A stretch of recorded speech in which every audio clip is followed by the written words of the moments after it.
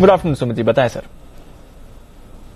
good afternoon Deepanshu Deepanshu देखिए, जो stock मेरे रडार पे आया उसके अंदर ब्रेकआउट है और स्टॉक का भाव चल रहा है छह सौ छप्पन रुपए, छह सौ छप्पन रुपए पचास पैसे।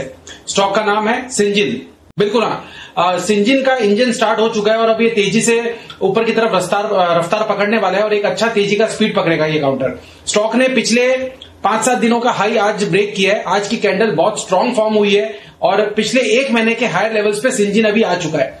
सिंजिन के अंदर मेरे को लग रहा है कि स्टॉक यहाँ से ऊपर में मिनिमम इमीडिएट शॉर्ट टर्म का जो टारगेट दिखाएगा, वो 675 का दिखाएगा और ओवरऑल मेरे को लगता है कि ये 690 से 700 रुपए के लिए तैयार हो रहा है। तो स्टॉक के अंदर यहाँ पे सीएमपी पे खरीदारी करें, छह रुपए का नीचे स्टॉप लॉस लगाए, ऊपर में छह का पहला टारगेट बनेगा और 690 का दूसरा टारगेट बनेगा। जल्दी ही आने वाले दिनों में सिंजिन में लेवल ऊपर की तरफ़ देखने को मिल सकते हैं। खरीदारी करके चलने का सलाह रहेगा सिंजिन के